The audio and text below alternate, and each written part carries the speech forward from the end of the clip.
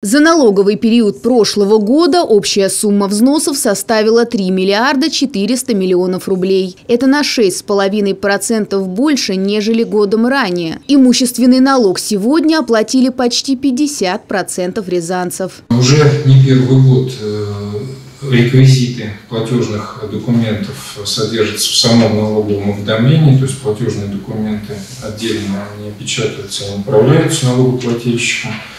А, небольшое изменение произошло в этом году в связи с введением единого налогового счета.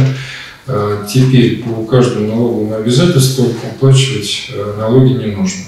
В налоговом уведомлении, уведомлении содержится один QR-код, которому необходимо выполнить один платеж. От уплаты транспортного налога за 2022 и 2023 год освобождаются участники специальной военной операции. Закон об этой льготе Рязанская Государственная Дума приняла этим летом. Кстати, основной тренд последних лет – это электронное взаимодействие налогоплательщика и УФНС через личный кабинет. Подробная информация об объектах налогообложения с различными характеристиками – есть возможность посмотреть и сравнить, какая же информация содержится в информационных ресурсах налоговых органов, и, собственно говоря, оценить, э, да, вдруг что-то, какая-то э, закралась неточность, есть возможность сообщить об этом. Что касается подключения к нашему сервису личный кабинет налогоплательщика, основной способ, который мы рекомендуем и который наименее, скажем так, затратен по времени, да, и э, в принципе очень прост –